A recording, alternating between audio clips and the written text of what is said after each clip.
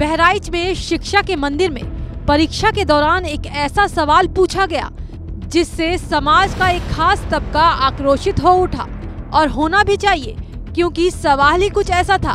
बता दें कि मामला ज़िले के प्रतिष्ठित school Divine Grace public school का है, जहाँ अर्धवार्षिक परीक्षा चल रही है, जिसमें हिंदी प्रश्न पत्र में कक्षा नौ के परीक्षार्थियों से एक सवाल पूछा गया, जिसमें भारतीय मुसलमान को आतंकवादी बताया गया है। जिसके बाद आनंद फानन में ये प्रश्न पत्र सोशल मीडिया पर वायरल हो गया और चर्चा का विषय बन गया। स्कूल के क्वेश्चन पेपर में ऐसी गलती से मुस्लिम समुदाय काफ़ी आक्रोशित है।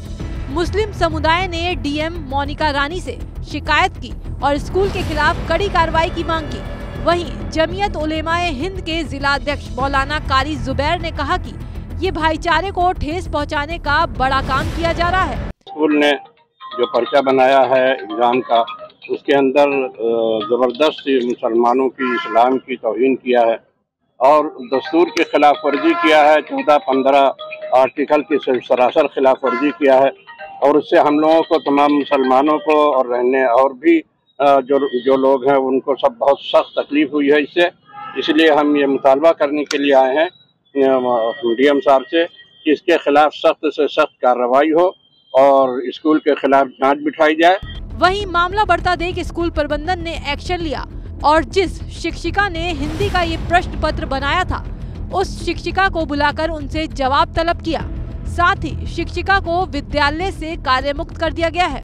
कलेक्ट्रेट से एक अधिकारी का फ़ोन आया कि इस पर आप परीक्षण करके कार्रवाई से अवगत कराएँ। मैंने तत्काल वहाँ के प्रधानाचार्य से संपर्क किया। रात हो चुकी थी, फ़ोन नहीं उठा।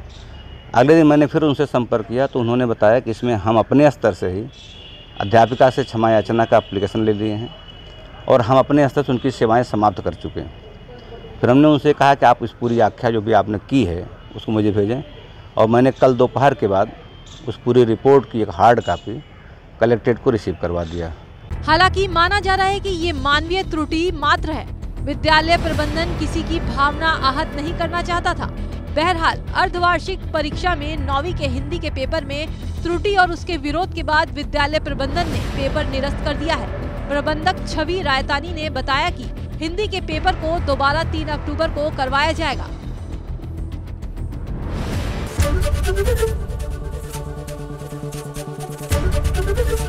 एबीपी गंगा, खबर आपकी, जुबा आपकी।